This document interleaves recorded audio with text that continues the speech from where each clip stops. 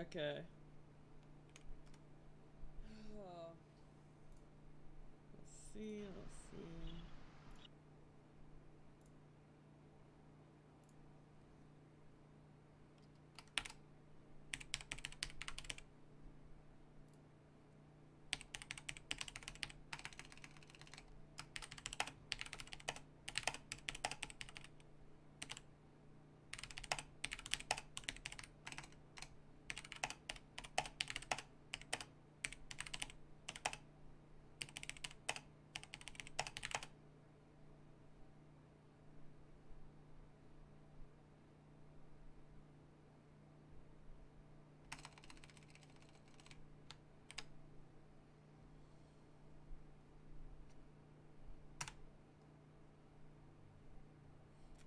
Oh god.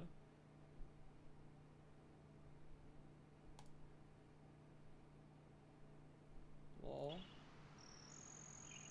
I just didn't add everyone in my Discord to, uh, to say I'm streaming, and there was a little notification from, um, from Discord that said, you're about to notify 100 people, are you sure you want to do add everyone? Which is actually a pretty nice thing for them to add to Discord, because that shit can be pretty annoying.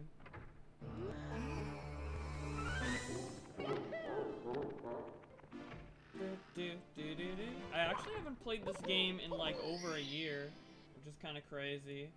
Usually after I do a trashy trio race, I kind of get burnt out on a game, so I don't go back to it for a while, but Mario 64 is one of my favorite games, so it's a little sad, but I'm playing it now, so it's whatever.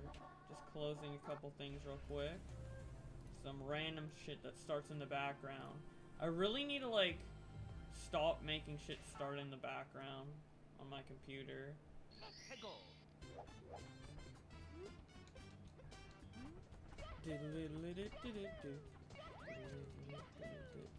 Hey, it's my boy Airborne Starker with that one that one cheer badge, dude. Loyal fan, dude. I started instinctively getting the 8 red coins, but I probably should just do um, the fucking first boss. As much as I love Mario 64 though, the first boss is actually pretty stupid. Like, who actually gives a shit about King Bob-omb? Not even an interesting fight.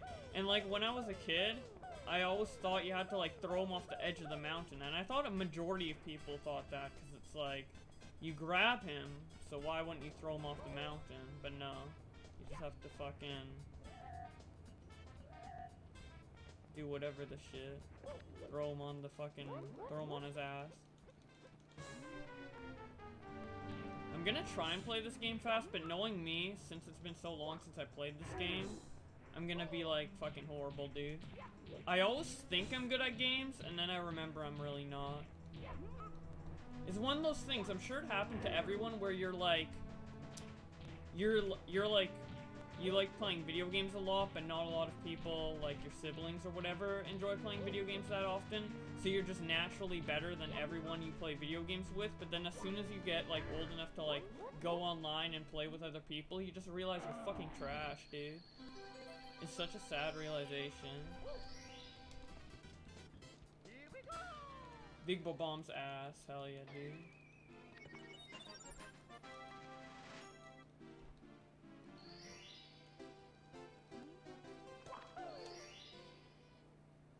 Okay, let's see.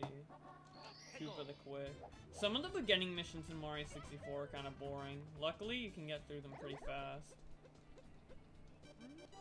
I just like how much freedom you have in Mario 64 to move around and do whatever you want. It's something I really appreciate in games. I don't know why. Maybe it's because I'm just getting older and becoming more cynical. Okay, I just fucked up there.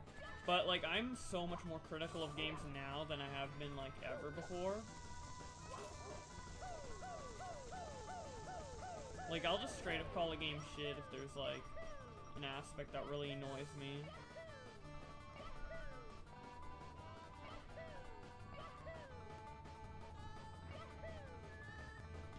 Trying to think of an example, but... I mean... I don't like a lot of things that happen in Mario Galaxy that kind of feel restrictive. I want to see a definitive Mario, uh, definitive version of Mario 64 that has original graphics but DS. That'd actually be really cool. I'm super surprised they haven't done it since Mario 64 hacking is so advanced right now.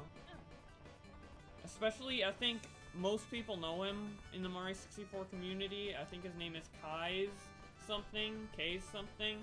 But he makes like a lot of fucking extreme Mario 64 hacks. Like he made Last Impact, he made, um, he made the Mario 64 online mod, online multiplayer mod, or massively online multiplayer mod.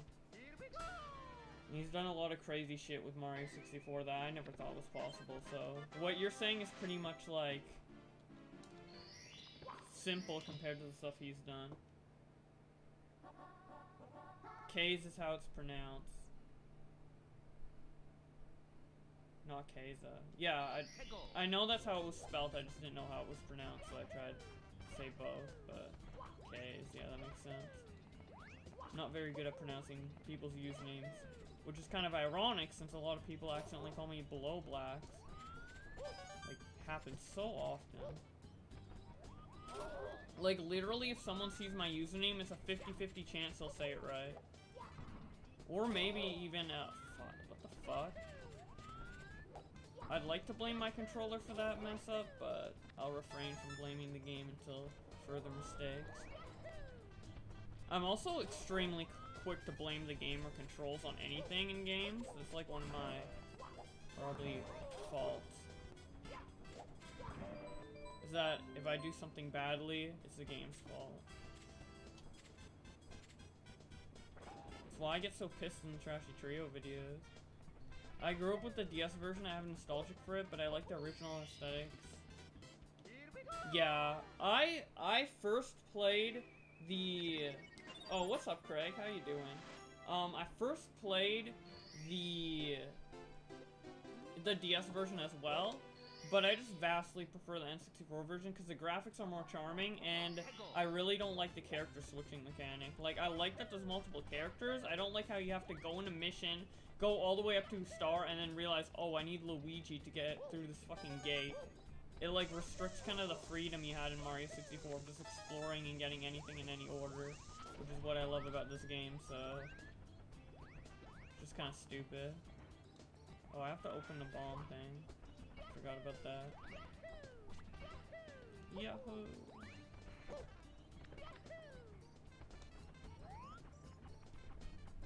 That's why caps exist. Oh, yeah. Hmm. I don't remember how prevalent caps are in Mario 64 DS because I haven't played, uh... Fuck. Why did I just long jump into that Goomba? I haven't... What am I trying to say? I haven't played Mario 64 DS in a really long time. Hey, Commander Root, thanks for the follow, dude. I don't have my... I usually don't have my follow notifications up because I feel like... I don't know, I never really wanted to have them up because it's kind of like... If some... I feel like if someone's watching a stream and they follow, like, for me personally, whenever I watch, like, a smaller streamer and I follow and they shout out my name, I kinda don't like it. So I don't tend to do it either, but since the fucking window was so small on the Mario 64 emulator, I just saw it in the top right, so I don't fucking know.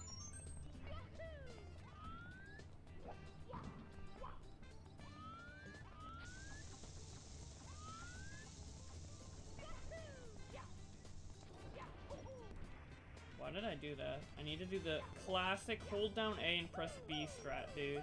So stupid. I love it, though. I absolutely love all the little glitches you can do in this game. You can't do that in Mario 64 DS either. I just really enjoyed the original controls, even though they're kind of glitchy. You know what else is cool? Mario 64 DS HD on Switch. Yes, that'd be amazing. I want a Sunshine remake on Switch. That'd be really fun. Mario, Super Mario 1, 1024. It's a crazy title, dude.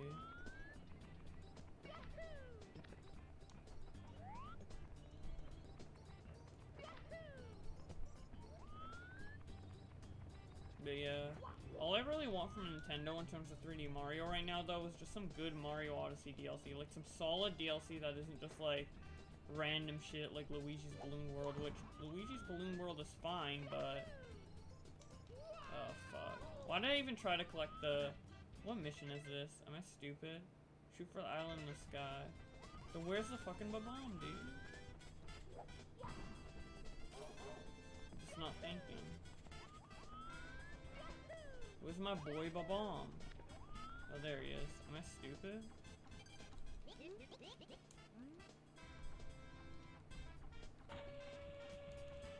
I don't like how you have to talk to the Bob-omb to unlock the cannons. It kind of seems a bit stupid, but, no, whatever. It's a minor complaint.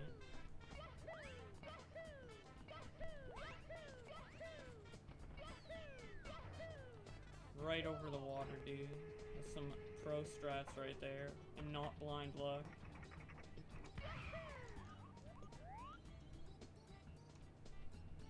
Oh, somewhat, sometimes I wish I had more control over the camera. Hazy Maze Cave with a friend and getting a Wario hat in order to get the star. Hell yeah, dude. Dude, so many levels in this game are so memorable. I love Hazy Maze Cave. The atmosphere, the music. Okay, we have six red coins. I forget where the rest are. I swear if there's one in the sky, that'll be annoying. I don't think there is, though. Uh...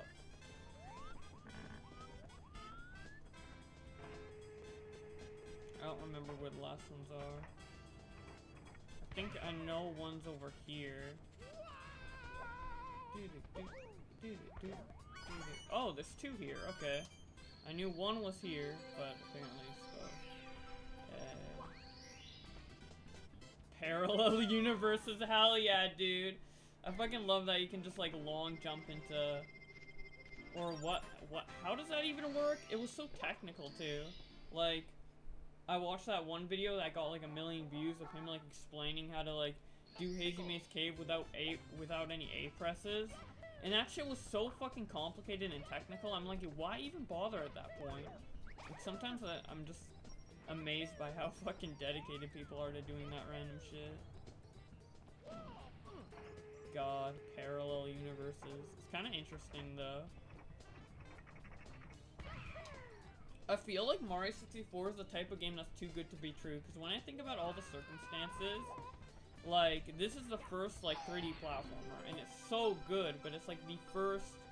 I mean, there's a couple other, like, three, three-dimensional platformers before Mario 64, but the real, like, 3D platformer as we know it started with Mario 64, and out of the gate, it was just so good. It's really weird.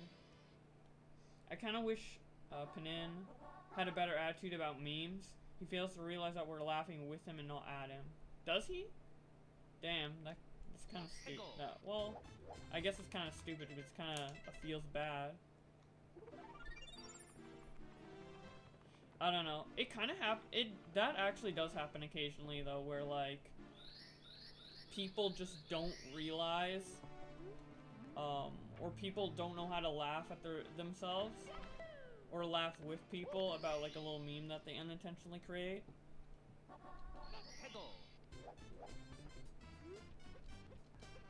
I feel like most people know how to do that, but there's an odd amount of people who don't, and it's kind of weird. I've always kind of been the type of person who embrace stuff like that, like completely, and be the person to meme other people in that way, so... I just can't is like so far off from my mindset to where you couldn't really play along with something like that. So I don't really understand, but uh, the whole there was a whole Imgur whole Imgur gallery of him venting about how he took offense to memes about Rolling Rocks video and how it made him not want to do a new video on his main channel. Hello? That's such a weird way of looking at it. Because when I see that video, I'm like, it's a huge success. Nobody would have expected that video to get that many views and that much attention. And I mean, come on, it's a little funny, like, Parallel Universes is like so crazy and convoluted how he went about this. It's impressive, for sure. We won't make fun of him for it, but it's just really, it's really interesting and it's a little ridiculous at the same time, so you, something you would, like, chuckle at, you know?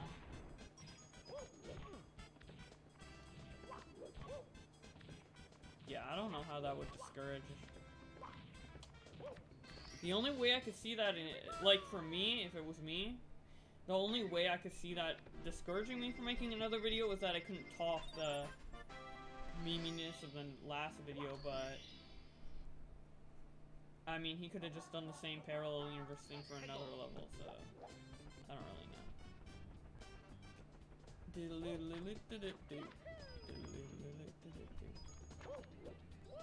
The video had like six times as much effort put into it because he got in a fight with his parents shortly before making it. And it was basically made because he didn't have motivation to make anything else.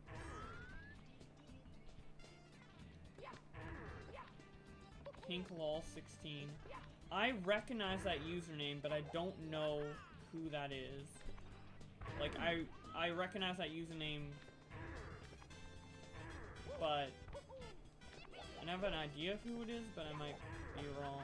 I don't know. I know a lot of, like, I recognize a lot of usernames, so... Claw. Yeah, I don't know, dude. I just see these... I know it's not viable to get these red coins right away, but I see these red coins and I just can't help but collect them, dude. They're so distracting.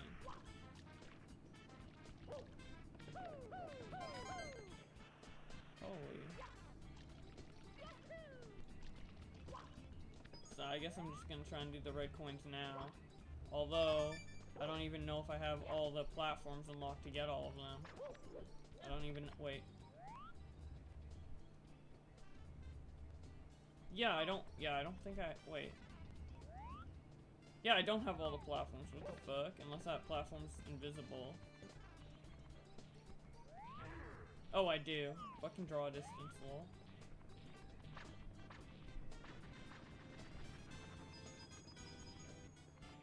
Okay. Ah! I suck. And one of his newer videos, Pannen sent, sent Koopa the Quick to a pair. What the hell? How do you even do that, dude? Yeah, I've got to catch up on that guy's videos. I know he doesn't make videos frequently, so I just never bothered to check, but... Ah! Holy dude, what the hell's going on? Maybe I should just wait for it to go around. Maybe patience is key, dude. I'm such an... I'm so impatient. Especially when I have the ability to fucking jump around like a monkey, dude. I can't really Use ball clones to make them stuck. That's... Oh my god. I hate, I love how you have to build up your speed for so long, dude. Okay, fuck you, King. I'm trying to get my coins, dude. I don't think I've ever done the red coins mission this early. Like, to where Whomp is trying to fight me when I'm doing this.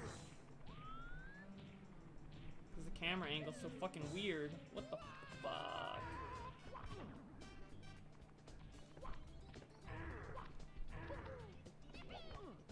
Feel like I'm so stupid for doing this this early.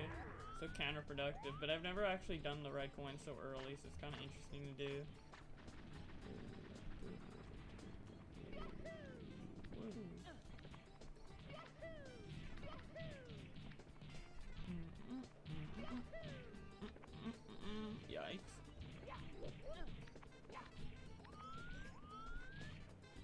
See, let's see if we can line this up. I like Mario's low poly version.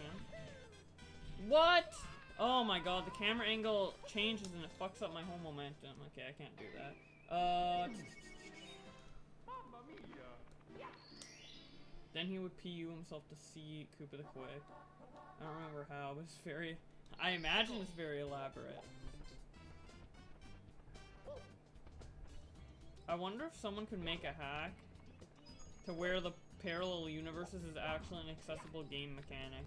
And like, instead of the parallel universes like aren't invisible, and then like, I don't know, you could like redesign, I know, I know the parallel universes is a glitch, so I don't think this is possible, but like you could redesign it so like, the next, if you go into a parallel universe of like Whomp's Kingdom, and there'd be a more accessible way of getting there without like doing fucking crazy shit. um, it would be like textured differently or something. And there might be like an extra star hidden somewhere that correlates to something in the actual version of the stage. I don't know. It's an interesting idea.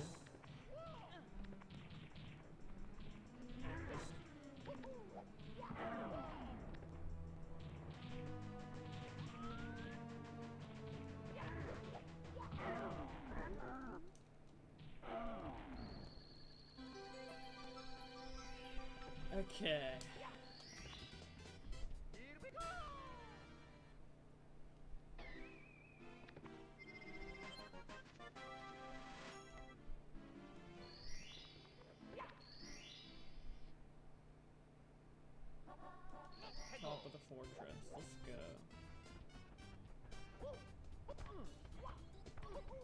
I love the music in Mario 64 so much. Dude, if anyone dislikes the soundtrack of Mario 64, I don't know, dude. You're a monster. You're not even human.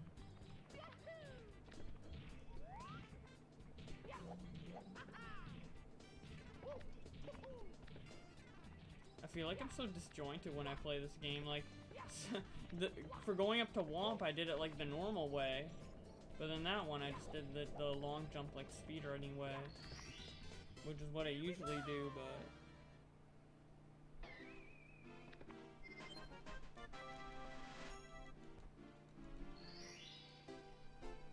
I can't believe we only need 8 stars to get to Bowser, dude.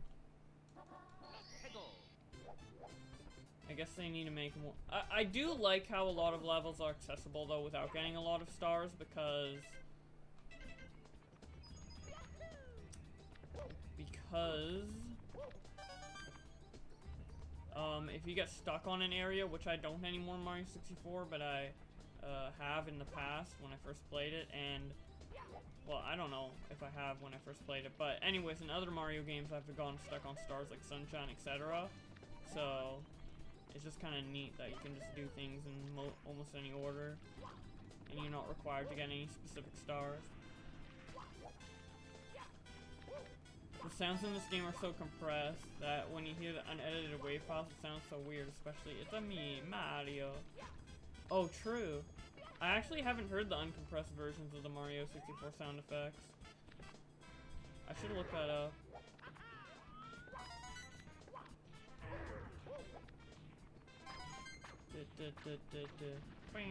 What the fuck? I suck. Yeah, I haven't played Mario 64 in like at least a year. I need to brush up on my Mario 64 skills. Especially if I want to actually play ROM hacks, dude. Without getting mad and saying the developer was shit at making the ROM hack.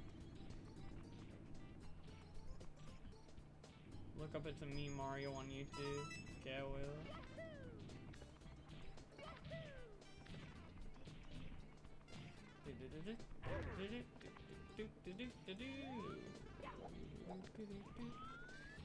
Gotta kick down the plank.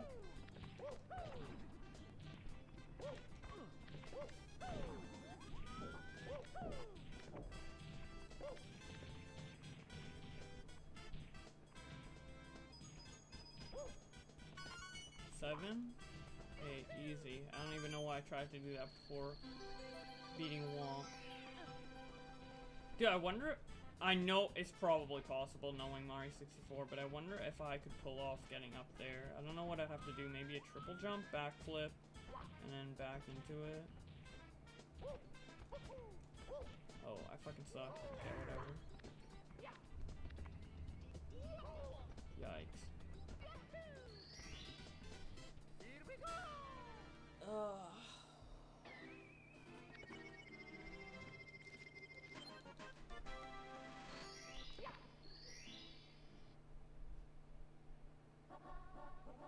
Into the caged island.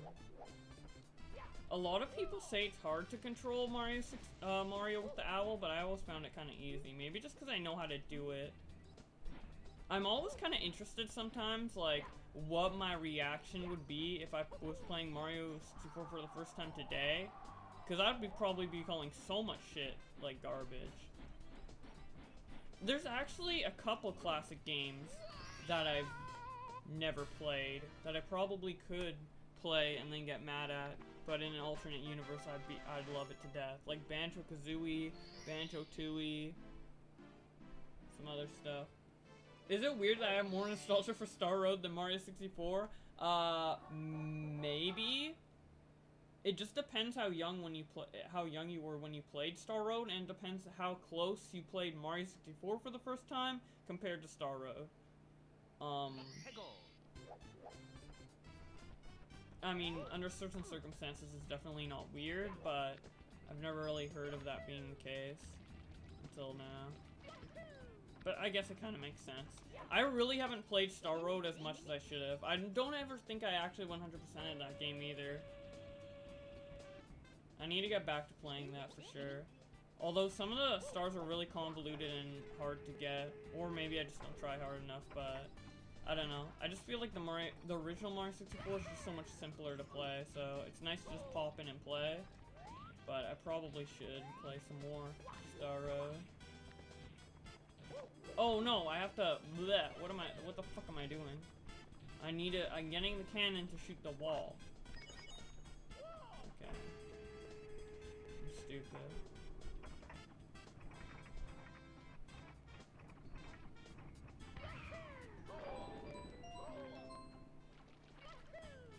I like how scrappy some of these stars I star areas are too. Like you can really tell that the developers made a level, like a, just made like a level that's fun to jump around, like a little playground, a play box or whatever. Um, and then just put stars randomly in there. Like the star placement was an afterthought and the level, just making the level fun to jump around in without the collectibles was the first priority, which I think is really cool. Because I feel like some other games are like more designed to where you place the star and then you're like, how will I design a level around it? Kind of like, a good example is Yooka-Laylee. Like, for example, there's areas in Yooka-Laylee which are just invented to get a Jiggy. Like, oh no, collect like fucking a bunch of snowballs for this snowman or some shit, you know? And then the whole like area of the level is designed to get that one Jiggy. But in Mario 64, it feels like they actually made a level, and then they place they just happen to place stars in it, so you have an objective, which I think is a much better way of going about it. Just so many problems with Yooka-Laylee, but I think that kind of covers the main issue. I really wish that game was better.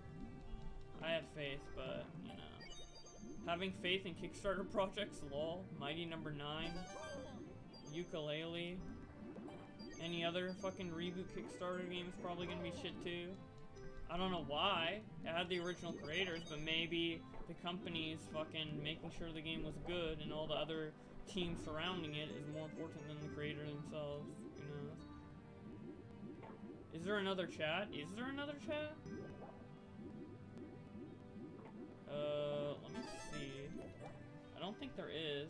There might be a subscriber room, but uh, I know I only have one subscriber on Twitch, so nobody would be talking in there.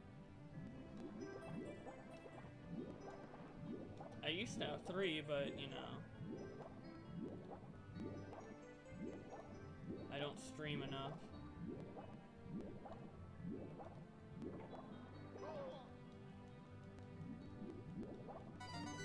And I don't even have an emote to be worth subscribing to. I still don't know what to make the emote. For a year, I've had, for almost a year, ever since September last year, I've had the ability to make an emote. But I just don't know what it what it should be. Because I want it to be, I've said this multiple times, but I want it to be an emote where you don't have to, like, know who I am to think it's a good emote to use. Like an emote that you would spam in a random stream's chat, and it'd be funny regardless if you know who I am or not. Like, for example, LUL is funny, even if you don't know who TotalBiscuit is, or was. Rest in peace, but...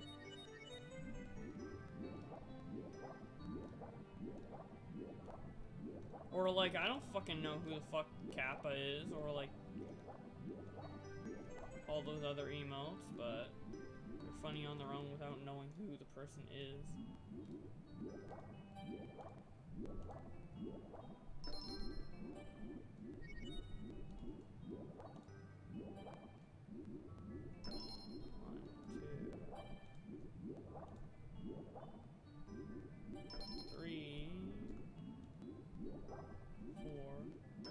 like how simple all these stars are.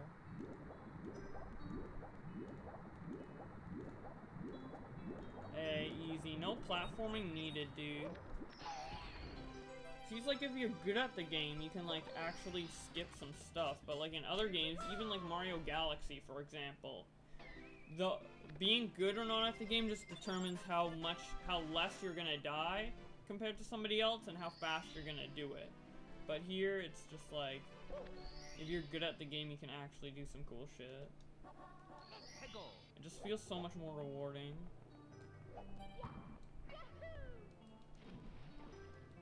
Luckily, Mario Odyssey actually captures a lot of that shit, which I'm actually super surprised because I didn't think the modern Nintendo Mario development team were capable of doing something like that. But Mario Odyssey is a really good, really good game. And it's so rare to have a game that good now, because I feel like everyone's just trying to recapture the old games, doing it in all the wrong ways, but Odyssey actually uh, did it correctly. Oh no, I'm gonna die. Yeah, I'm dead. See, uh... How am I not dead? What the fuck? Dude, I swear if I jumped out, then went back in the water, and then died immediately, now that would have been tilting.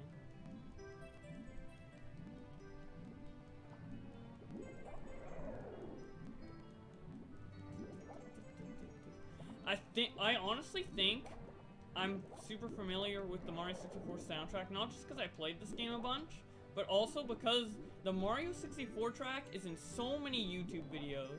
It's like the number one fucking gaming YouTuber soundtrack, I swear.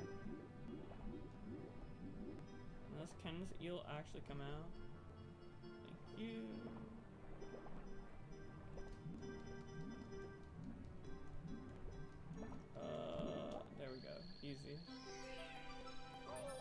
Oh my god, what the fuck? Holy shit. That's a tilter.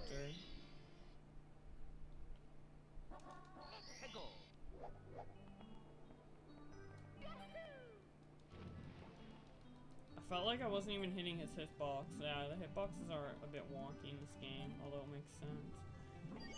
Let's try and use the shell, dude. No one ever uses this shit. Oh, okay. Okay, you fucking clam. Piece of shit. See how it is.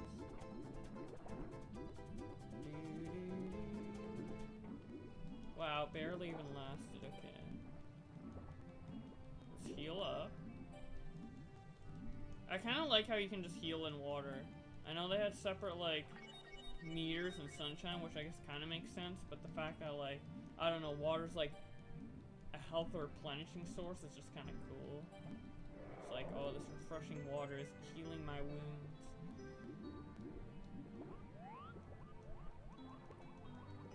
I wish the camera was better. Okay, let's see, let's see. Yikes! What the hell, dude, are these hitboxes? So annoying. I'm gonna fucking die.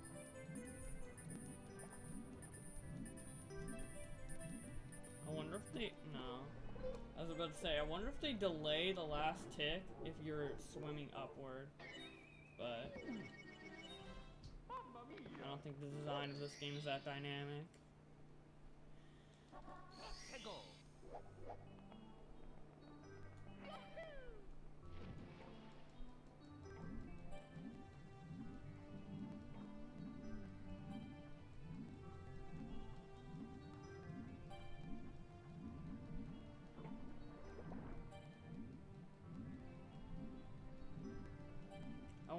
Swim into that star. I've never really been able to. I think I've been able to do it once or twice, but I'm not exactly sure how to go about it.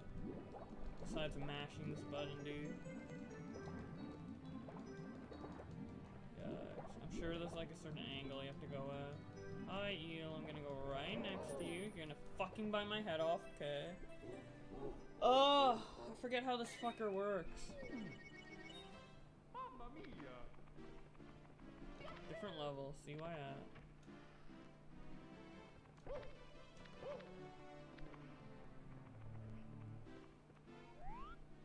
this is a frustrating level too, but hey, I might be better at it. At least it's more like consistent than the eel, I guess. I. I feel like it's more controllable than getting that fucking eel dude, baiting enemies, enemy AI. Uh,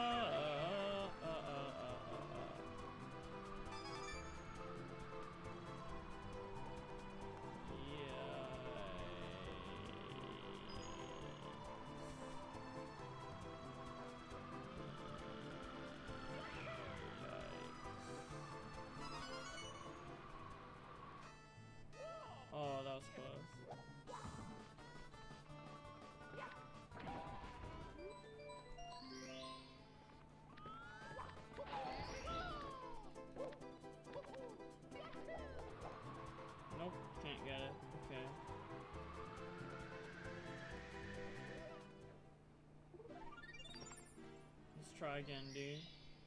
Isn't there a star you can get in Mario Odyssey by looking up at the ceiling? It's pretty cool. I love Mario Odyssey so much. I should be I should play that on stream too soon. I don't know if I've played it on stream before, maybe a little bit, but yeah, there is. Hell yeah, dude.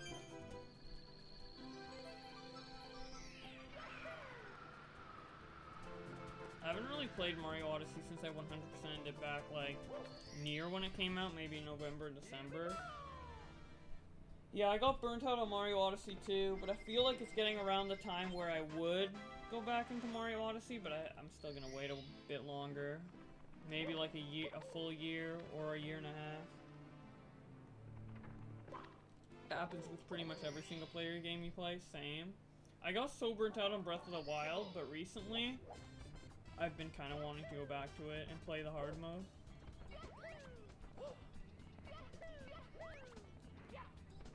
But yeah. I don't know, it's been a lot harder for me to get into single player games period as well. Maybe it's just because I play so much League, but... Like, even if I have good games, like, I wouldn't, I'm not really, like... I'm not really dying to play more of the game, if that makes sense. Like, I'm like, oh, this game's pretty good, it's pretty cool, but I'm not, like, dying to play more. There's only a few games that do that for me, though, where I'm dying to play more.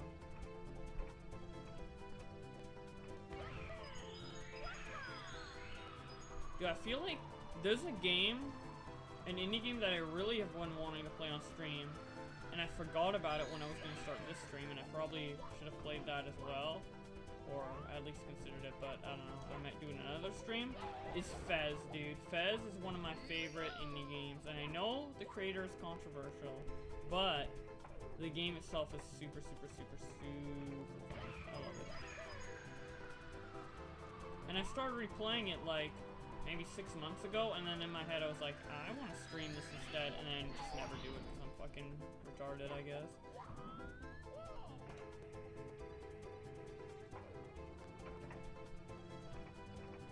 Okay, I wish the draw distance was better so I actually know where to shoot. Luckily, I'm pretty much a natural. I'm pretty much a god at Mario 64, you know. You know just naturally born with the talent to wield the epic game of Mario 64. Uh, using the word epic unironically, lol. Custom music has been invented for Pikmin 1. The first custom song is just an MP3 to MIDI sun that MIDI of sun SpongeBob cave eating alive. What the fuck? Let me guess, did you put that into Pikmin 1, dude?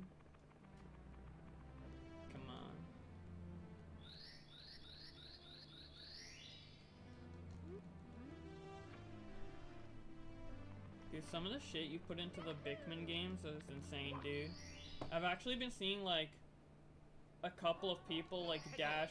well, I say a couple people, but I've only really seen, da seen Daz reviews play Bickman. Uh, obviously, I think Grapefruit played Bickman and, like, I don't know who else, but I'm glad your hack is doing well, because it's definitely crazy as fuck.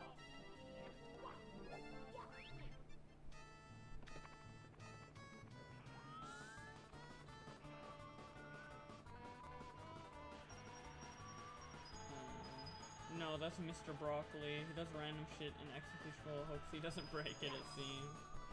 Yeah, dude. I've never heard of Mr. Broccoli. The sponge is half, I just fell.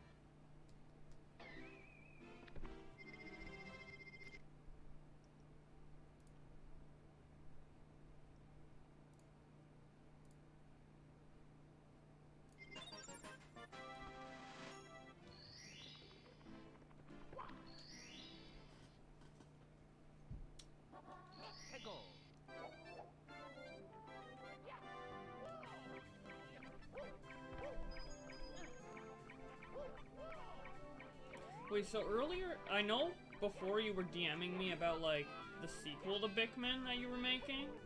How's that been going? Did you actually release that? Cause, uh, or like,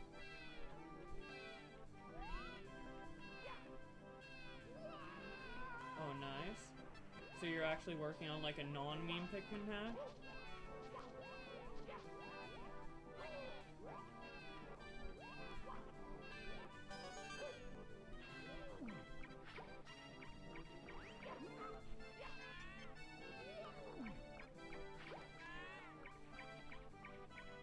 Left the team? Aw.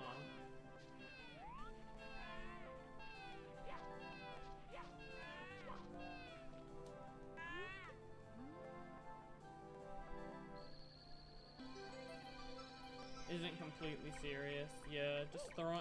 Yeah, I can see that. Just maybe throwing a few jokes in there here and there, but overall being pretty standard.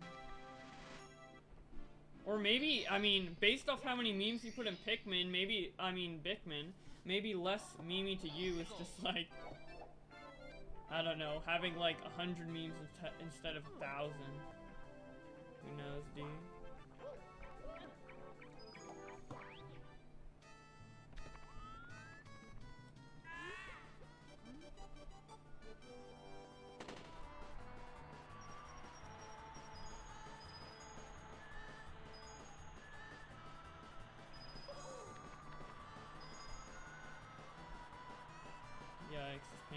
Actually beating me. Bad he sucks.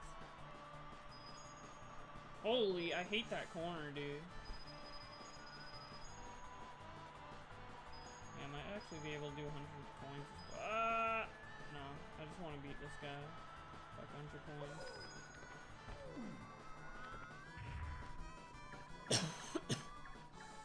Dude, I feel bad for everyone who just walks out that door right away. And you know so many people did too.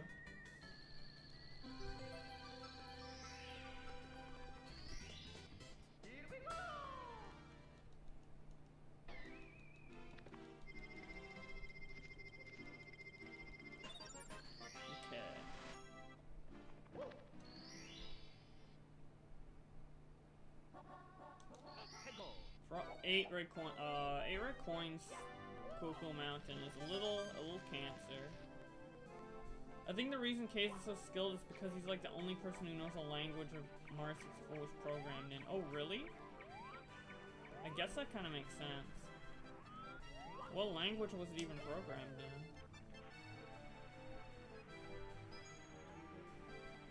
So if he knows a language by heart and knows like how the game was constructed, that basically means his hacks have the like quality and stability of an official product, like as if Nintendo were to expand on the game themselves. Uh, yeah. I've never even heard of that, so it probably is like nobody else knows how to use it. And it's, not, it's probably not really useful for much things anyways, only that and maybe hacking a couple other games. I mean, it is a fucking uh, programming language from the 90s, so.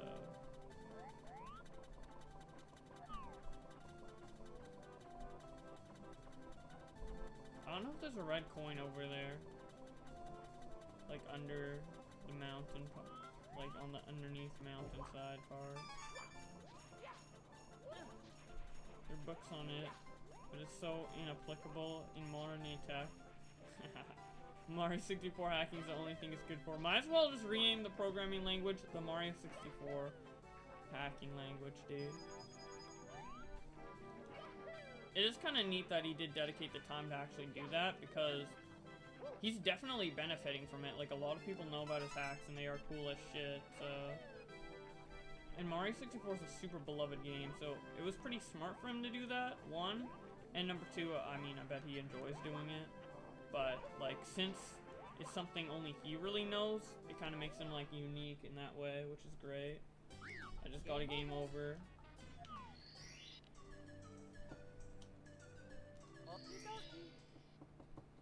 Yeah, I'm sure, obviously, but...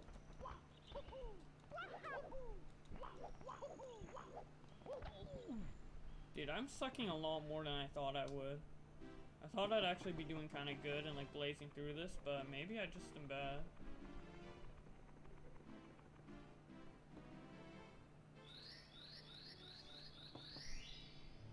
Kaze is good at hacking, but he lacks game design skills. A lot of his more serious hacks are really unfair and boring at times.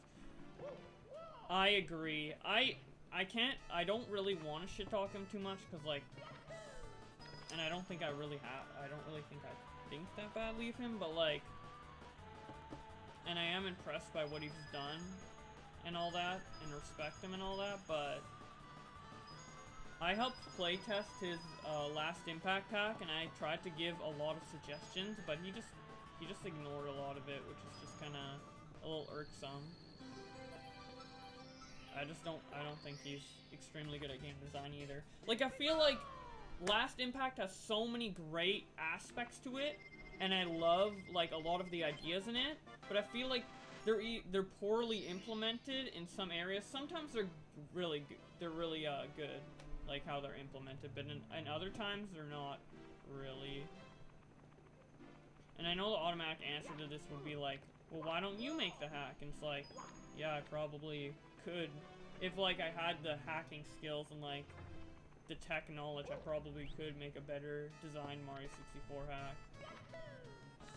But I just don't really have the skill for that. And I'm not really interested in like learning how to program and all that shit.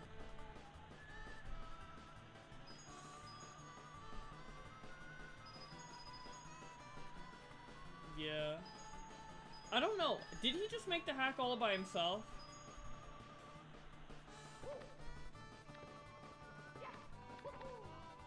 Because, like, if he made the hack all by himself, I feel like he could have made the hack great if he had, like, a friend or, like, some sort of colleague to, like, help him, like, help come up with ideas, help, like, design the game, playtest the game and him actually taking the feedback properly. He did have a good, decent amount of um, good playtesters, but I feel like a lot of them were like yes men, and they only pointed out bugs. And then there was some things that I pointed out, and I don't know. He just didn't really care, so it's whatever. But I do think that game has a lot of potential, and didn't really live up to it. The original music was made by Christopher Brown. Yeah, the music's actually really good in that hack. I like it a lot. Yeah. And I mean, it's kind of, I mean, people can make great games all by themselves. Like, I'm pretty sure Undertale was made by only one guy. But it's really good to have, a like, a second opinion. And it's fine that he created it all himself, but... I don't know. I feel like he should have done more work to polish it, but I do understand his position because I think he was working on it for like a really long time. And he and once it was kind of like in a very playable state, he just wanted to get it out and have people play it. But and honestly, most people play it like uh, Peanut Butter Gamer and other stuff. Uh, I mean, other people, other YouTubers, and they're like, "Oh, this hack is so great, it's so ambitious and stuff." And I agree, but like, I don't know. I feel like for a long-term game that you actually, I mean, it's a fan game, okay? It's a fan game, so it doesn't really matter if it's kind of like wonky on the game design side because it's a fan game. But if you actually wanted it to like be compared to the original Mario 64 and want it to like actually be like seen objectively as maybe a better version of Mario 64 or a great sequel to Mario 64 and have it actually stand the test of time, he should have done.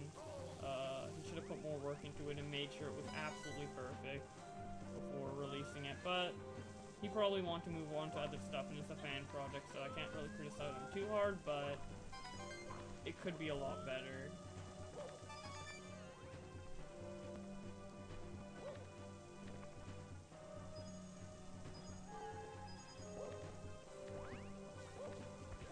Basically, every Super Mario 64 guide has, I mean, every Super Mario 64 hack has, is that you needed a guide to beat a lot of missions.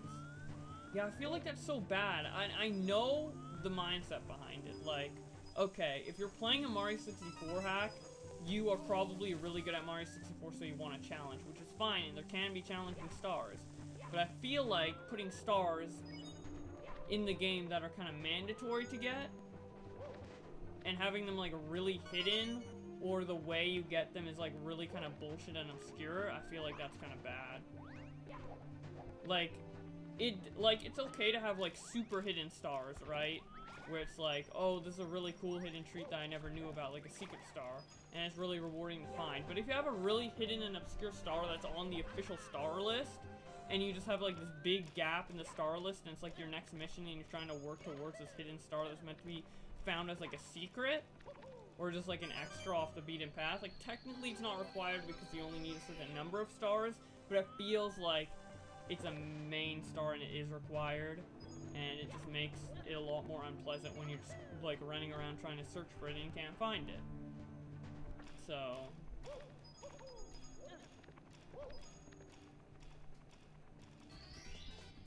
This isn't a problem for Star Road and Last Impact because they're decently popular, but more obscure ones like Star Revenge, there aren't many guides that exist. Ideally, you shouldn't need a guide in the first place. I agree.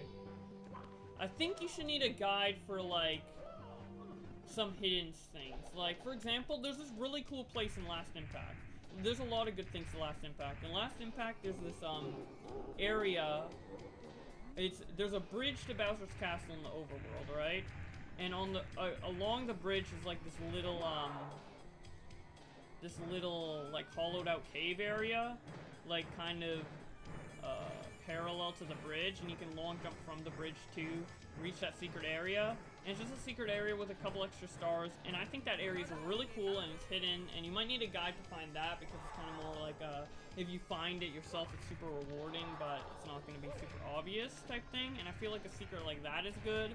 But if you need a guide to get one of the main stars in the game, and it's not super clear on what to do, then I feel like it's just bad. So long, Gay Bowser. I don't know how the developers didn't see that or hear that sound clip and not think it said Gay Bowser and then shipped it. That shit definitely says so long Gay Bowser. Kinda like how in Sonic Heroes, Knuckles says shit a lot. And I know it's supposed to be like shit or like fucking fucking grunting sound, but it literally sounds like shit. It's hard to hear it any other way. Uh, okay. Where should I go next? I'm just gonna go to the next area. The beginning stars are so boring, dude. The beginning world. I played back Last Impact. My biggest gripe is the difficulty and how you can't play a blind. Kaze's excuse is that if you're a scrub, you should do only any percent but I'm a completionist.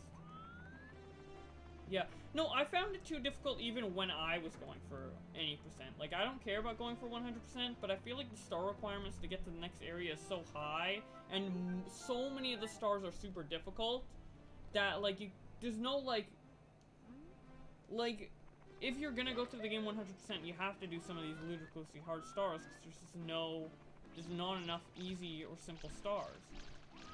And I feel like when you're introducing a player to a new area or a new game mechanic, you have to have the first star of that mechanic be easy. Just so they can understand it or they don't get frustrated. I don't know. Like, the game, for one person, I'm really impressed with a lot of the stuff he did. And I'm not saying his game's bad, but I'm just saying, like, there's a lot of, like, I don't know.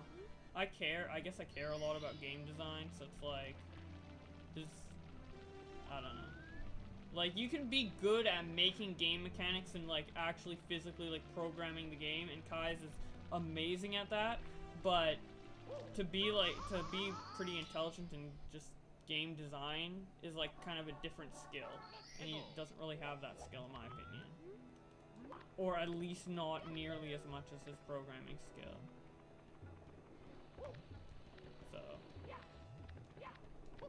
Then for me, I feel like I'm pretty decent at game design. I'm not gonna toot my own horn too much because I haven't really worked on many game projects, and all the ones I have worked on kind of just got canceled because I'm shit at programming. But I don't know.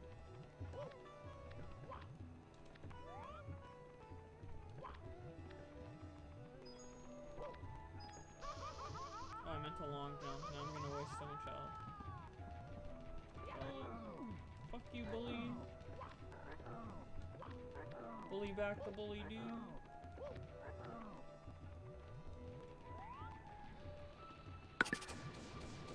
And this how you deal with cyber bullies, dude. Just fucking punch him in the face. Too bad he can't. This is all mine. XD. Oh. What the fuck? I suck. Okay. Uh, let's see. Another reason why Kaze's excuse is bad is because he can't beat the first Bowser level without save states. Yeah! that's a problem, like... Okay, there's two different types of difficulty. There's difficulty in, um, how, like, how much skill you need, and then there's difficulty in figuring out. Like, there's difficulty through lack of knowledge and then lack of skill. Or knowledge and skill, the two difficulty scales. And I hate stuff that's difficult just because you don't know how to do it. Like, if you knew how to do it, it would be easy.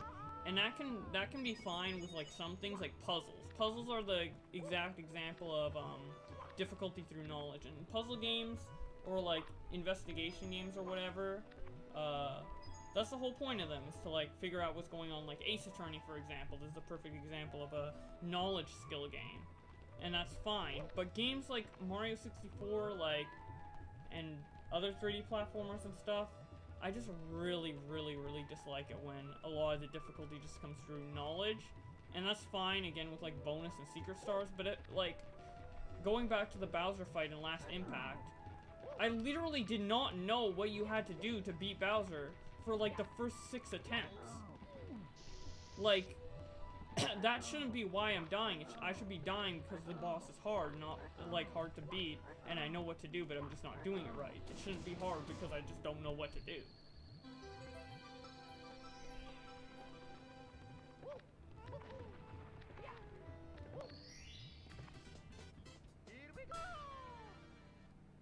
To be fair though, Star Road was bad at times. Yeah, I mean Star Road isn't perfect, although I prefer it over Last Impact. But Last Impact I have a lot of good ideas. Dude, I've I've heard people say that Last Impact is feels like a real sequel to Mario 64 and Star Road feels like shit. And I'm like, hello? That's your opinion, but you're fucking weird. Your fucking opinion is fucking weird, dude. Uh, I'm clipping that. What are you clipping? Hey, what's up, Amber? Lava hurt. Me die in lava. Me hurt. Me die. Uh, Star Road's first Bowser was hard because you had to fight a bunch of piranha plants on a narrow platform. Oh, yeah! I still preferred it over Last Impacts, to be honest. I did. What star am I on? Bully the bullies? Okay. Fuck, dude. Why, why do I suck? What the hell, dude? I didn't mean a ground pound. I meant the long jump. Okay. The bully missions are actually kind of annoying, though. They do feel a little wonky. Damn, now that we're talking about these Mario 64 ROM hacks, I kind of want to go back to play Last Impact just so I can, like, demonstrate what's bad about it and what's good about it. But, I don't know. Uh, fucking bullies, dude. Dude, I love how glitchy Mario 64 is, though.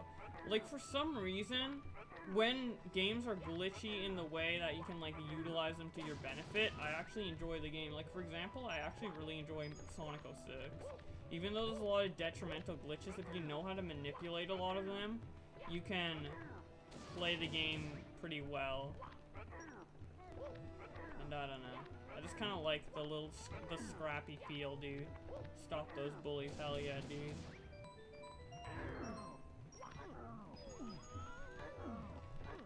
Dude, can you imagine how many people just fucking, um, in like, uh, 1960 or or that, 1960, 1996, they're just like elementary school or middle school kids, they just got Mario 64, they're fucking nerds, they get bullied every day at school, they're like, I'm getting bullied, and then they fucking play Mario 64, they get to, they get into fucking Lethal Lava Land, and in their head they're just like, fuck these bullies, dude, fucking Billy fucking beat me up at school. I'm gonna get revenge by fucking throwing him in the lava, dude. So hyped. I saw a YouTuber playthrough who was really optimistic about Last Impact at the beginning but hated it by the end because of the reasons we just talked about. Thank God, dude. Which YouTuber was it? Because I feel like every time, like, I haven't watched a lot of Last Impact videos, but I feel like I see YouTubers like Nathaniel Bandy and Peanut Butter Gamer who just go who just open up the game and they're like, this is so great, dude. Every every hack Kaze makes is fucking great.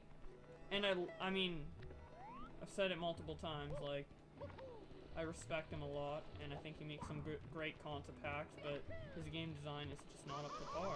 And people, I mean, people, he, I mean, even though he did a great job, and it's amazing that he did do it, and I certainly couldn't do that, make the game that he did, I still think it's fair to criticize him. I don't know why I have to keep reiterating that, but dude, so many times people will just clip something I say where it's just like, I'm criticizing someone and they're like, damn, you fucking hate that guy's guts, dude! You really do! Like, ever since I made that Hedox video, people are like, damn, dude, you really hate Hedox with a burning passion? And it's like, I'm pretty sure I made it clear in the video that I just thought the situation was humorous. Fucking stupid. Some obscure one it, uh, there wasn't any commentary. Uh, I think Ant Dude talked about ROM hacks once, but he didn't like Last Impact either, and he just grabbed it like, hey, look at this cool thing I made instead of, hey, look at this fun thing I made.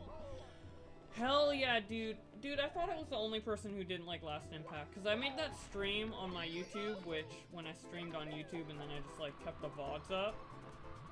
Maybe I should do that again, I don't know, but...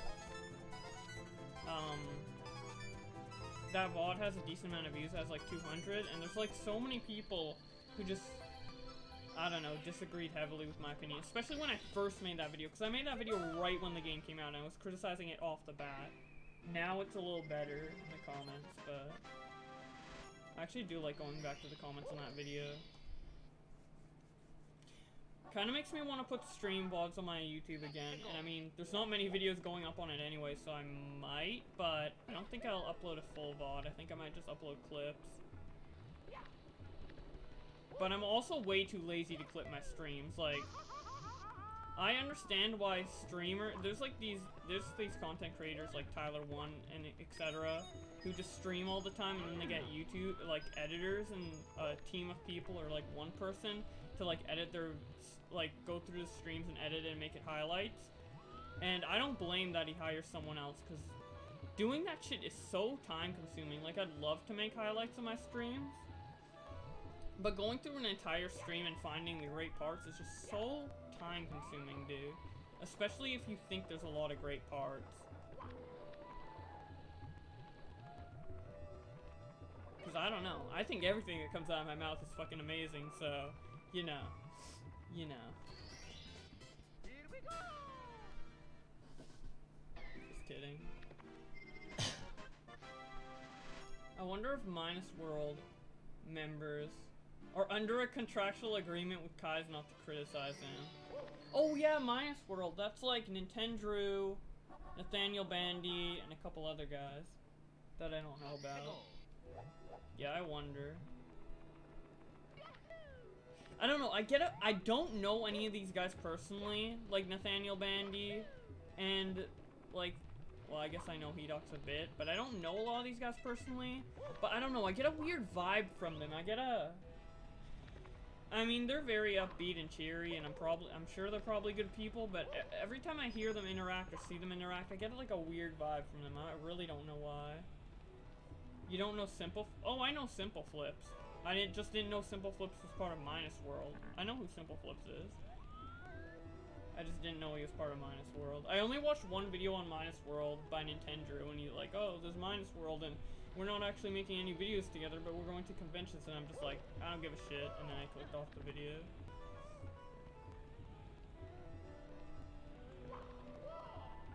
He sent a Nathaniel Bandy a meme once, does that count? I guess.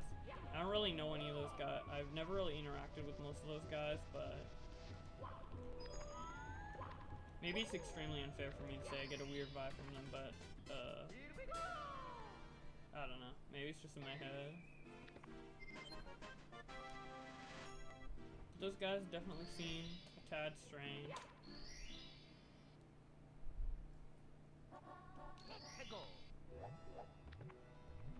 But maybe I should just stop being such a hater, dude.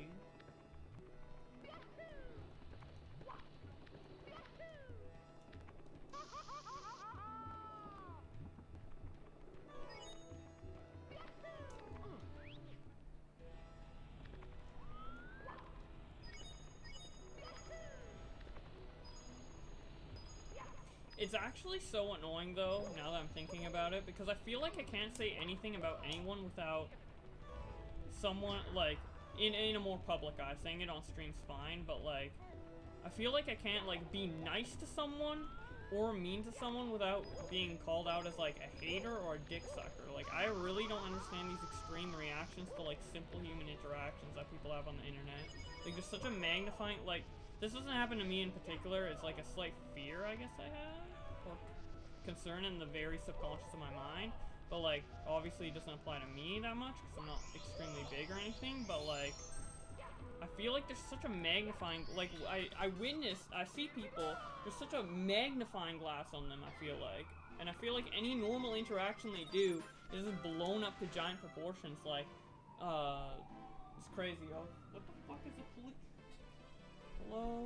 I didn't do anything illegal. Did you hear those fucking sirens, dude? Jeez so much fucking crime, dude.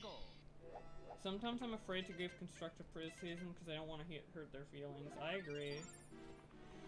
I mean, you can word it in a nice way. I've worded stuff in a nice way. But, for example, like, I feel like some creators get so butthurt when they see constructive criticism. For, like, like for example, there was someone who made a video called League of Legends is the day League of Legends died. It's so weird, because he has a series called The Day Game Died. And he puts a bunch of random game titles in there. He's He has The Day Fortnite Died, The Day PUBG Died, and some of the videos are good and actually make sense, like The Day PUBG Died. But you don't make a The Game The Day They Died series. You don't make The Day X Game Died as a series. Like, because you can't just call your video the day something, a game died if the game isn't dead. And he just does that because it's part of his series name and oh, the game's not actually dead, but it's the name of series. Whatever, that's another rant. This fucking is retarded. But anyways, he made a video called The Day League Died, and it was obviously wasn't about when a league died. It was just a criticism video of League of Legends. And I, I understand, I understood some of his opinions, but a lot of them were moronic, and I made a comment talking about it, and the video actually has a decent amount of dislikes on it. It has like 40% dislikes. Um, and my comment got a lot of thumbs up because because it was actually right in the criticism. And this is a guy who puts a love he puts a love mark on every comment he does. Um he does a love mark. I'm I'm so slow at talking and explaining stuff. But basically, he puts a love mark on every comment he gets. But on that video, he put a love mark on every every comment that I was agreeing with him, and every comment that was disagreeing with him, even if it had a lot of thumbs up, he didn't put a love mark on. But he put a love mark on a league YouTuber, Candy Monday, who put who um who put a slightly constructive or a slightly critical comment. So it's like this guy only respects your criticism if you have a high sub count. Hmm. That's a little strange, dude. Might Hmm. It might be that you're fucking butthurt about criticism and you only give people value if they have high sub counts, because, you know, the more subs you have, the more, the higher quality human being you are. Everyone knows that, dude. It's the YouTube law. Fucking crazy, dude. Anyone who says Fortnite's dead is retarded too. I agree. Fortnite's not dead. I'm not extremely fond of Fortnite, but that game's not dead. You're fucking stupid if you say that. In this video, I'm explaining exactly what I do to collect watch for rolling rocks in half A presses. Dude. Here we have it. Rocks for rolling rocks and that many A presses, dude. How many? Everybody, you gotta count. How many A presses do I do in this mission, dude? Look back on the stream, count my A presses, dude. Guaranteed under 100, dude. Yikes. Okay, wait. Do it from when I don't die to the the rocks. Okay, let's count my A presses real quick. Gotta have, gotta see how close I get to the world record of half A presses in this mission. Half A presses, dude. So fucking stupid. Like, how do you not meme half A presses, dude? You're literally, like, half A press. Like, you can't cut the button in half and press it, like, hello. I don't know how you don't meme that. Okay, I think I've done five, six. I don't even know why I'm counting this. Seven.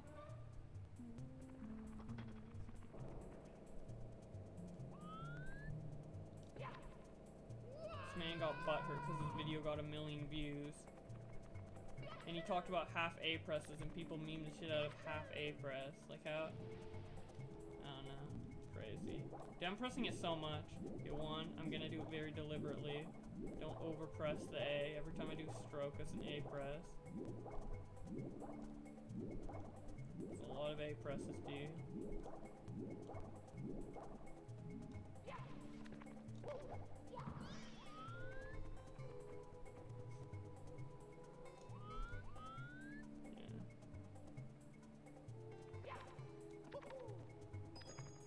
Shit, I lost count when you started swimming. Rip.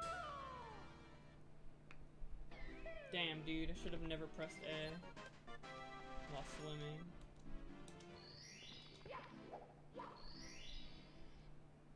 That's such a weird challenge, too. Who thinks of doing a Mario 64 challenge with a certain amount of A button presses? I mean, I guess it's kind of cool, but it number one, it's a weird challenge in general, and then number two, he took it to the extreme where he like literally warps Mario into glitched versions of the map just so he gets like less A presses. Fucking crazy, dude. I love it. Back in my day, Wario, you need a Wario hat to beat this mission.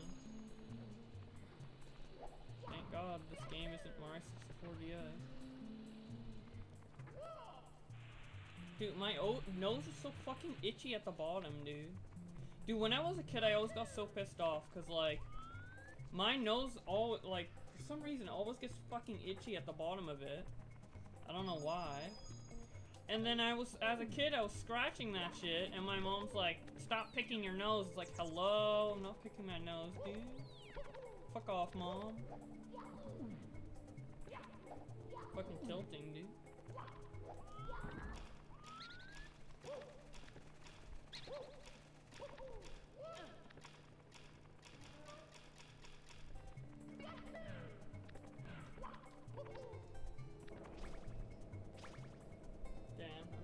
So fucking sweaty, dude.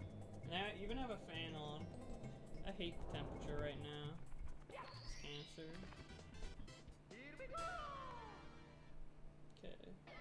Been playing for like an hour and 15 minutes and I have 30 stars. That's about a quarter of what I need. So, five hour stream, boys? One sec. I need to text someone something. It'll only take a second. I'm selling my amiibo and someone needs my address to pick it up.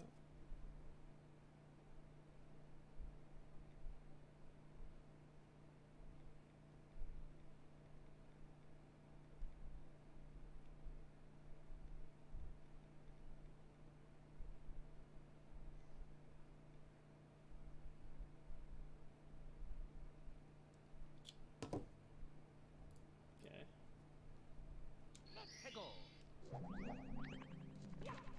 I don't even know why I got so many amiibo. I think I only got a bunch of amiibo because fucking Sam and Max were getting it. Social pressure, dude. But I never really used them. I also, when I was getting amiibo, I actually thought Nintendo would do something meaningful with the fucking, like, scanning it. But obviously now it's just collectibles, which is like, what the fuck? They actually made it seem like there was gonna be, like, good game functionality with it, but no. I was like, oh my god, Nintendo figure, Nintendo fucking Skylander-esque figure, X esque, bleh, esque figures, but it works on multiple games instead of just one. This is an amazing idea. Oh wait, too bad they fucking fucked it up. Dude, over here in particular, there's like this little notch. I don't know what it's for. There's no reason for it. But I always remember it because I, back in 2012, I was making a Mario 64 ROM hack, which I never ended up finishing, and I put a star here. I actually love that hack so much. I should actually play it sometime. Even though it's fucking garbage. But I'm so nostalgic for it. I remember like making it and what I was thinking while making it. It's just so cool to go back to. It's called Super Waluigi 64. It's actually my first public video on my YouTube channel, because every other video is unlisted or private. I think it's private actually. I have so many fucking cringe privatized videos on my channel. I think most people do, but I actually have a lot of cringe public videos on my channel. Dude, the other day, I typed in Bowblax on YouTube. I was scrolling down Uh, for some reason, like, I don't know why, but, like, I guess on the certain browser I was on, like, the list was endless and it never said next. It just kept going down and down and down. And I literally was scrolling for, like, 15 minutes or some shit, or, like, 10 minutes. And I just couldn't stop getting Bowblax videos. I'm like, what the fuck? I've made so much shit. Don't even realize how much. And I found, like, videos I even forgot I even made. Like, I did a Sonic Generations LP five years ago. I didn't even remember doing that shit. Crazy, dude. I hate the red coins in this fucking map. When I was a kid, I remember... I actually believed that shit too, dude. No joke. I saw that shit, I got so hyped. Waluigi's been my favorite character since I was a kid. Ever since I played him in Mario Party 7, I absolutely love Waluigi. So I was so disappointed when I found out it wasn't actually real, but... Waluigi needs more representation. I feel like every... I feel like there's been such a big love for Waluigi lately, too. I wonder how many sales a Waluigi game would get just based off his meme status online. Very, very curious.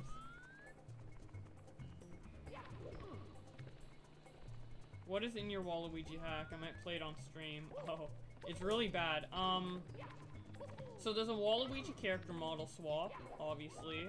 And the hack isn't finished, so there's only like a couple levels edited. And, um, I don't really think the game design in it's good. It's probably complete shit, and you won't know what to do half the time, but, like, a lot of star locations are moved. Um, a lot of just objects in the level are moved around. So it isn't extremely different, but, like, you gotta, like, go around the level in unique ways. I really actually don't remember it a lot.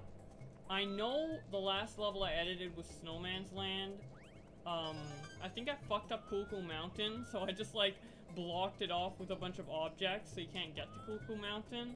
Although you could probably glitch into there because I did, I like fucking fucked up the start point on that. Um, I don't, I know, I added a, cup, a couple of stages, but But yeah, it's not really finished, but I guess it's kind of interesting. The lack of Waluigi in Smash Ultimate is the only thing I don't like about it, same? A lot of assist trophies would be cool characters. Bomberman, Squid Sisters, yeah. Well, Squid Sisters, I wouldn't really say is that necessary because they don't really do anything gameplay-wise in the actual Splatoon games, which I guess Palutena doesn't either, but... Um, we already have the Inkling, so I don't really think the Squid Sisters are would be a super interesting character, but I do definitely agree with Bomberman and Waluigi.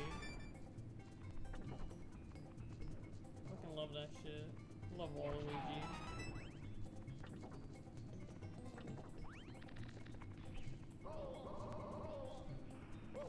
Sound effect. Oh! I wanted to replicate that more accurately, but my throat's actually getting a bit sore for talking so much. Not used to be, not used to being able to fucking blab on for hours on end.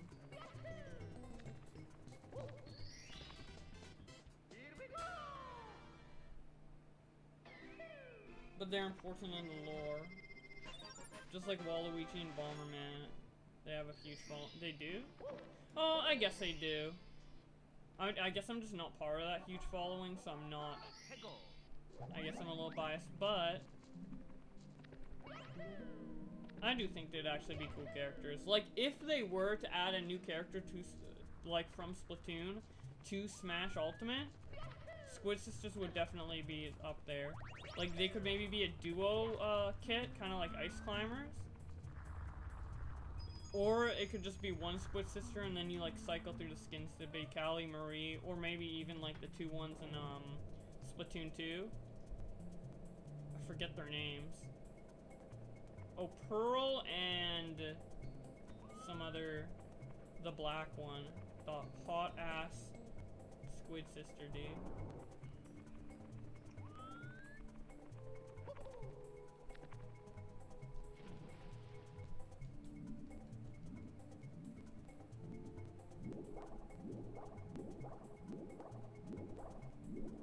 I need to play Splatoon more. Honestly, I just don't really have anyone to play it with which is why I, don't play it as much as I like. Because I do enjoy playing it on my own, but after a while, like, it's it's kind of a team game, and I don't really enjoy Turf Wars, I only enjoy the ranked modes, so, I don't know, I kind of would love to have, like, a couple people just to, like, team up with and communicate with and, like, try and play to the best of our ability in Squid Squad or something. Or it's called League now, I think. That'd be really cool, but Splatoon is definitely my favorite shooter game, although I don't play it nearly enough for it being my favorite shooter game.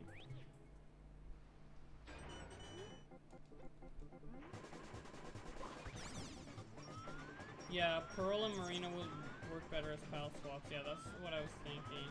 Like Olimar now.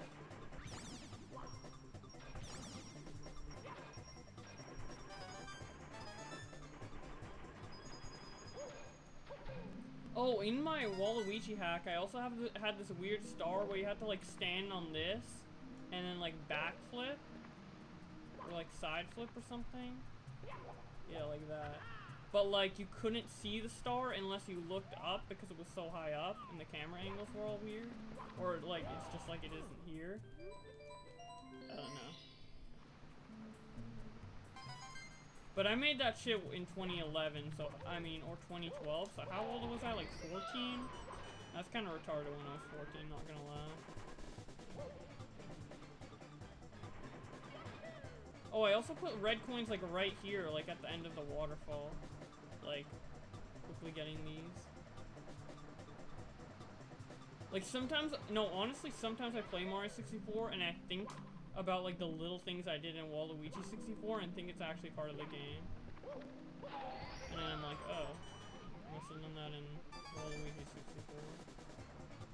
But I only really remember Hazy Maze Cave. Oh, I uh, I remember what I did in Lethal Lava Land. It was so fucking stupid. So basically, in Lethal Lava Land, like, I used like a program back in the day. I don't know if you've ever heard of it because it's probably old and no one uses it. And it was called Toad's Tool, and it basically just like is basically like a Mario 64 hacking tool for people who didn't actually know how to like properly hack. And what I what I think it was in beta or something, so now everything worked properly. So in Lethal Lava Land, you can move the objects, but you only move their textures and not the actual hitboxes. So it caused there to be like false platforms where it looks like there's a platform, but there isn't, and you fall through it. And then there was like invisible platforms where it's like you don't know where the platform is, but it's actually a solid object and it's in, its in its original location. So literally what I did is it's a level based off trying to memorize the original um, layout of Lethal Lava Land, but everything's just randomly strewn all over the place, so you have to just guess where you have to go. And it was so fucking stupid. People still use that? Wait, Kaze uses that? Did they improve it a lot? I'm guessing they improved it a lot then. What the fuck? God. Dude, maybe I should pick up Waluigi 64 again. Although, I think I fucked up the ROM so much to, like, where I don't know if I could reverse so many, all the fuck-ups I did.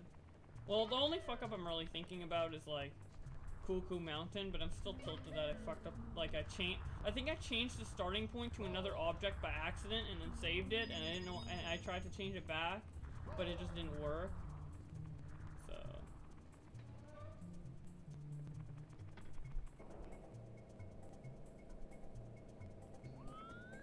It's kind of funny that he uses that. I wouldn't think he would, but I don't know. I didn't really, I thought that tool was just kind of like something that people just deemed like, oh, if you use that, you're just bad. Because I don't, I don't really think um, Star Road was made with Code's Toad's Tool. But I really don't know how to go about hacking. Like, I use these tools, but I didn't think, like, actual, like, well-known hackers use that shit. I thought they actually, like, went into the game files and, like, changed something.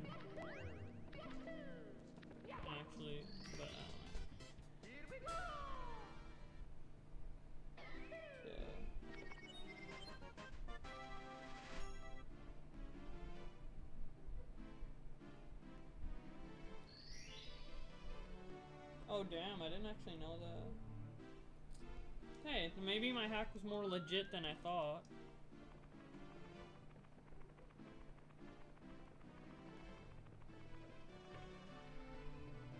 Oh, okay. Yeah, that makes a lot of sense, I guess.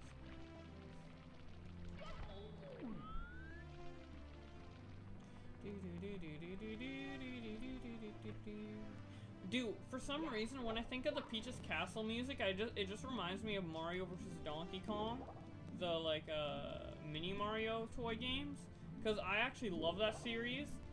Kind of underrated. A lot of people got sick of it, but I always loved it. Um, I, I especially love the second one, but like there's I think there was like a Peach's Castle level, and it had like a remix of the Peach's Castle theme from this game. And I don't know, whenever I hear this tune, I just think of that. Because the remixes are so good in that game, dude. I fucking love the music in that. I only played Miniland Mayhem. Yeah, that was a pretty good one. I enjoyed that. I think Miniland Mayhem was the first one that kind of like solidified how you control the minis. Because in the second one, you could literally like stop the minis from moving. You could like turn them. You had like a lot of control over them. But in the then in the future games, they kind of made it more like a mobile game where like you can't stop them from moving, which kind of adds to the challenge in a way. But I kind of enjoyed controlling them because then like in the level creator, you can make more creative levels. You first heard Peach's Castle and New Super Mario Bros. Wii. I guess that makes sense. A lot of people uh, bought that game back in the day, so.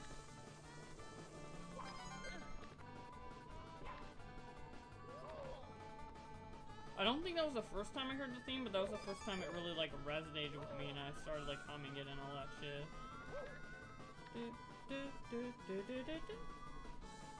I really want to look up that remix now.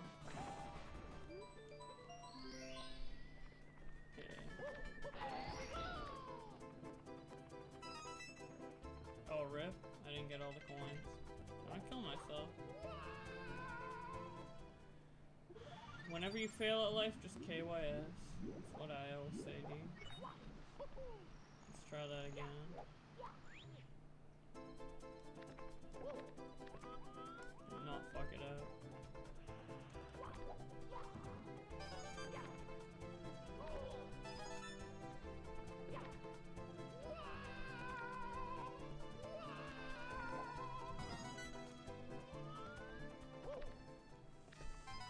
Oh yeah, dude, I love the throwback Galaxy and Galaxy 2, dude.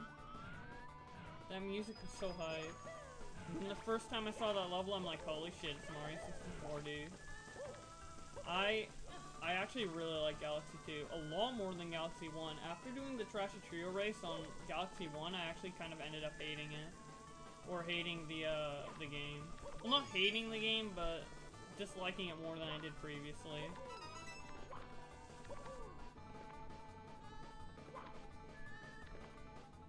Maybe I'd just like Galaxy 2 when I play it again.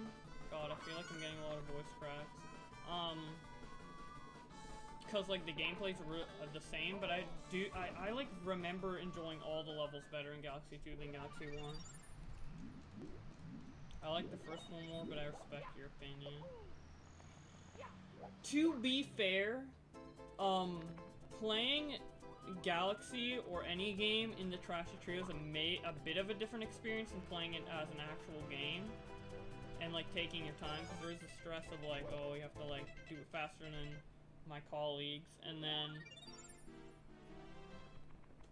and then I also haven't played Galaxy 2 in a long time, so maybe my opinion on that is way higher than should be, and maybe my opinion on Galaxy 1 is way lower than it should be. But I remember my opinion has always been that I enjoy Galaxy 2 more than 1.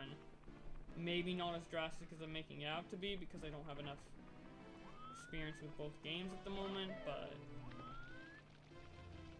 I do enjoy Galaxy 2 a lot. Although, Galaxy 2, I did play Galaxy 1 first, but only at a friend's house, and I only played like a handful of stars from it. Like, I played Good Galaxy, I played the B Galaxy, I played some of the uh, galaxies in the fountain, but I didn't really play the game that much. And then Galaxy 2 was my first game I got, um... Galaxy 2 was actually the very first game I got on launch day and it was the first uh, Wii game I really owned. Well, I owned Mario Kart Wii before, and Mario, Mario Kart Wii and New Super Mario Bros. Wii before Galaxy 2, but it was like the first like 3D Mario that I like owned and played, and I don't know. That's probably a good reason why I like it more than one. So I can't say objectively Galaxy 2 is better than one, but I can say I enjoyed it a lot.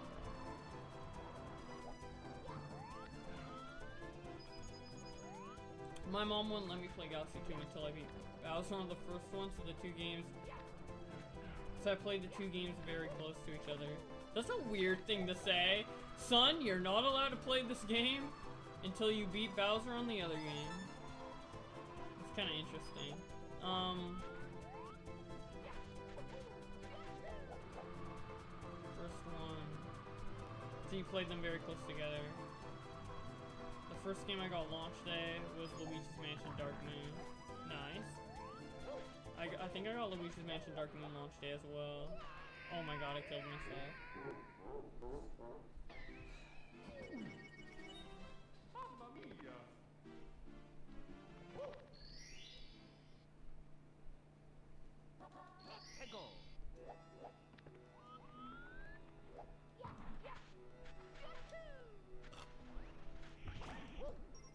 But yeah, I mean, Galaxy 2 actually came out in 2010, and I was pretty young back then. How old was I? No, I was 13 back then, so I actually wasn't that young. Never mind. But it just feels like so long ago. Like, I'm kind of surprised I had the mindset to go out and get that day one. Well, actually, I don't know. Maybe I'm fucking retarded. And can't remember my past easily enough. Yeah, I think I'm just fucking retarded. Why wouldn't I go get a launch game at the age of 13? What the hell? Do I just underestimate my intelligence that much? What the fuck? You almost got Hey Pikmin on launch day, but Amazon takes forever to get that shit. Dude, I got Hey Pikmin on launch day in the store. They literally had to get it out because they didn't know that it was coming out because like no one fucking gives a shit about Hey Pikmin. So it's like, oh, that game's out? Wait, what's Hey Pikmin, dude? And it took forever to get it out. It's probably the first one in the store who actually asked for that shit.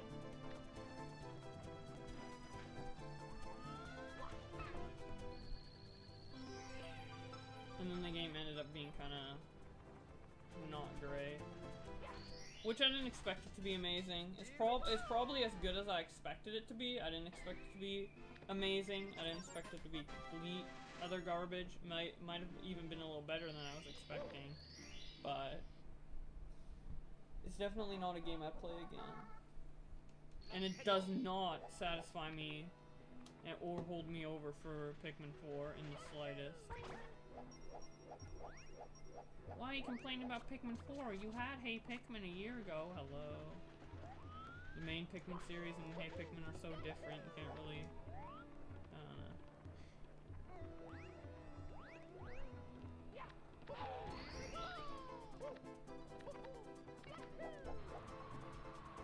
It wasn't on shelves yet, so the employees had to get a copy from the special stockpile. Yeah, exactly. Oh, yeah. Yeah, that's what happened to me with Hey Pikmin as well, where they had to get it from the stock, special stock, special pile, whatever the fuck. I can't even talk.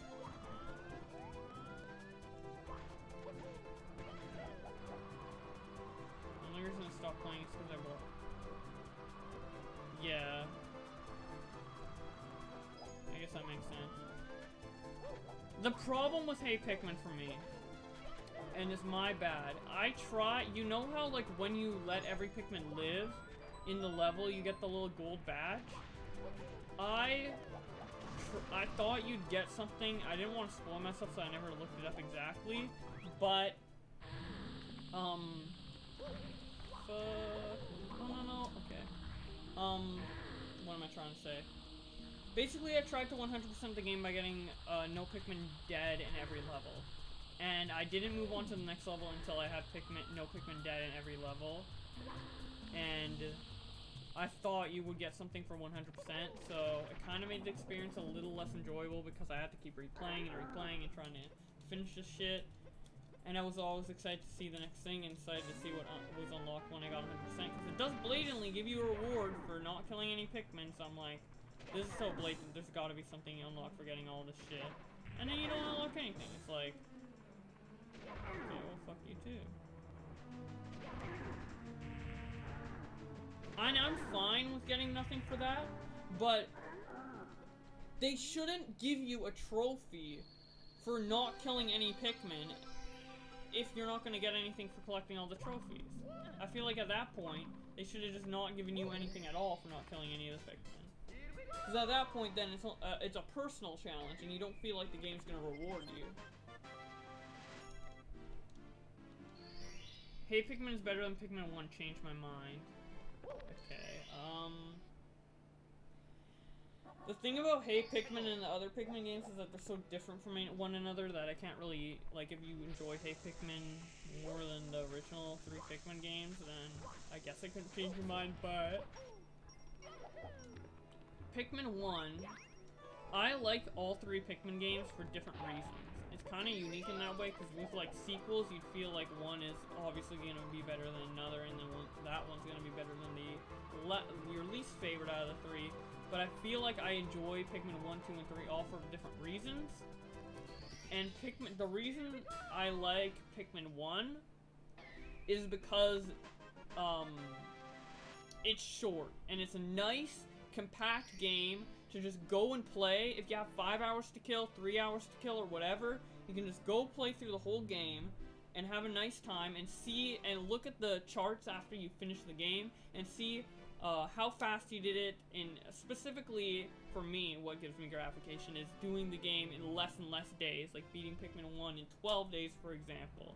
uh, versus like 15 the last time I did it. And it just proves that I'm getting better, and it's like refining strategy. So Pikmin's a strategy game, so it, it has a strategy element. It's like a strategy uh, adventure hybrid game, right? And I think Pikmin 1 uh, highlights the strategy better than any other game in the series to where, um, like, doing everything super fast and getting, like, 11 days done or, like, 12 days done and, like, just keep decreasing your day count, your total day count, it just feels so rewarding and feels like you're getting better at the game and refining, like, what you need to do in the game. Like, just refining your skill at Pikmin. So, it feels really, really good to replay a bunch. But if I were to just like play Pikmin 1, then Pikmin 2, then Pikmin 3, and judge them all on a standalone experience by playing them all for the first time, I feel like Pikmin 1 would probably be the least fun in terms of playing for the first time. But in terms of replayability, I think Pikmin 1's amazing. The beat as fast as possible concept is what I do in every Pikmin, mainline Pikmin game. Yeah, I do that too, but I feel like it's the most fun in Pikmin 1 is what I'm saying. And it's like, I don't know, I always enjoy, I enjoy like speed running, quote unquote. I don't ever speed run or try to get the world record. I just speed run, like try to play it as fast as possible for me, and I don't really bother looking up any like uh, glitches or ways to actually do stuff the fastest. But on my own time, I just say I'll just say casual speedrun for the sake of clarity. Um, I enjoy casually speedrunning Pikmin 1 more than any other Pikmin game. Because it's short, and because, uh, I don't know. I just really enjoy it.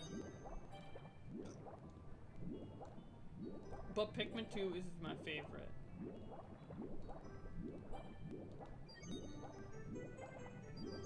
Non-casual speedrunning as hell, yeah. I don't really care to get a world record on anything. They're cool to watch, and I guess they're fun to perform if you can do it consistently, but I don't know. Dude, I would hate to be a speedrunner of an RPG, though. Imagine doing fucking those three-hour Kingdom Hearts run speedruns, dude. God. That shit would fucking suck, dude. I would never want to speedrun a game like that. I feel like there's a couple games that I could would like to speedrun. If I actually had the knowledge of how to do it fast, and I feel like I was skilled enough to do it fast, but I really don't think I'm skilled enough to get a world record in any game, so I don't really want to dedicate the time to try and do a speedrun, you know?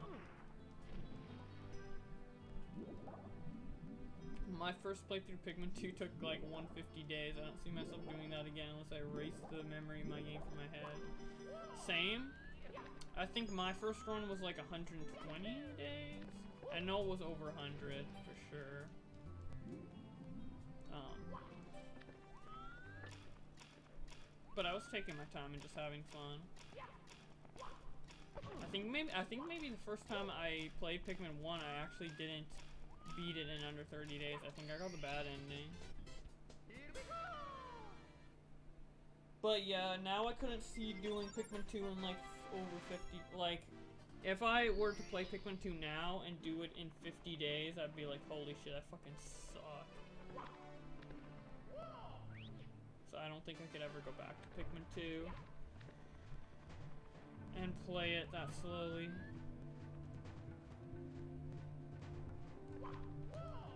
I might stop streaming soon just because my voice is getting really sore how long I'm gonna stream. Well, that's very that you said that right after I said that. I know the stream delay, but that's kind of funny coincidence. Maybe after the star, the star and the Bowser key. My voice is fucking killing me right now. And the, the guy's coming to pick up my amiibo that I'm selling at 6 o'clock, and it's 5 o'clock, so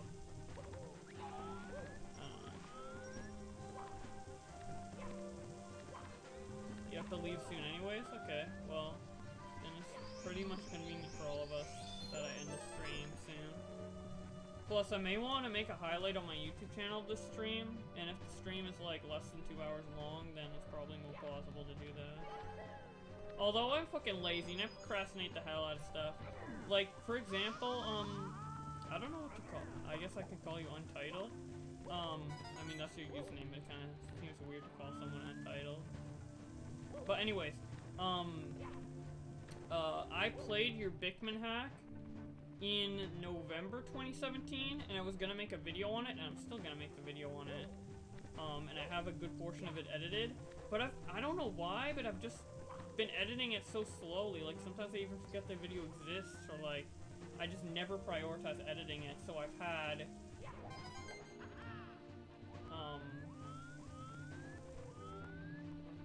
I've had what the fuck? What am I trying to say? I've had that video like being slowly edited over the last seven months, or like eight months.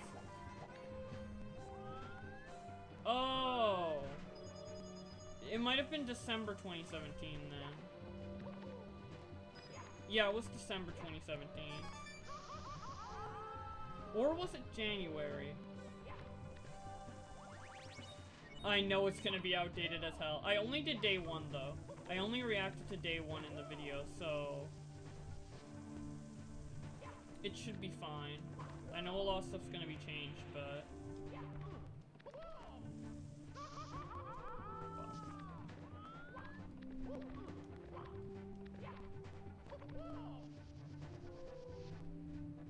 And it's also not gonna be like the, um, the, what is it? The Land of Torture videos, where it's kind of just like me doing kind of like a Let's Play. It's gonna be more edited up into like kind of a more of a montage style video. But I don't know. I don't know why that shit's been taking so long. I'm so bad at like actually doing that shit. But I actually like the video a lot so far. Who knows, maybe it'll be done in time for the one year anniversary of me starting to make that video. Cause I'm fucking retarded and I don't edit shit. Cause I'm too busy playing League of Legends. And Mario 64 streams. Fuck you, Bowser. Oh, hell yeah, dude. Easy, dude. One shot. Okay.